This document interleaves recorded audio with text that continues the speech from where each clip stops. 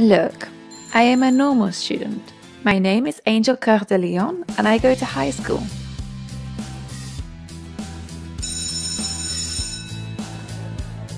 My classmates are just vampires and mermaids, or elves and werewolves.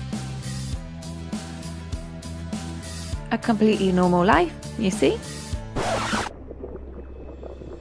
I mean, yes, my family doesn't like supernatural creatures.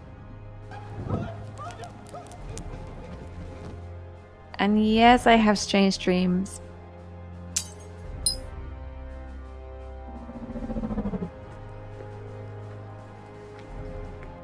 And a weird birthmark.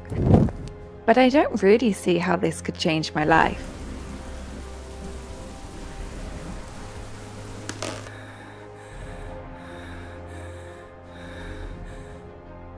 I mean, I'm just a normal 16 year old girl.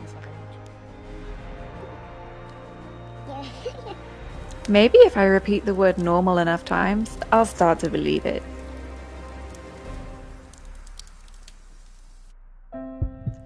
Anyway, here's my story and how my life got turned upside down the day I bumped into a stupid vampire.